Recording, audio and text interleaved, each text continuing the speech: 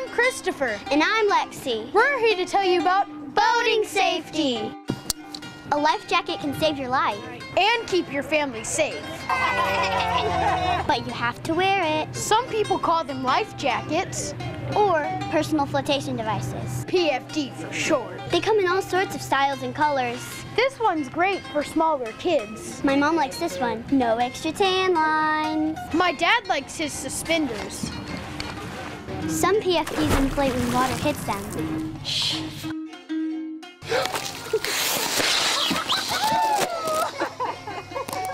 Others, like mine, are always ready. Be sure you have the right jacket for the right activity.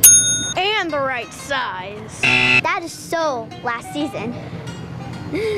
Even pets can wear life jackets. If you want to know more, Google My FWC Wear It. And remember, it only works if you wear it. So wear it. Florida kids care about boating safety.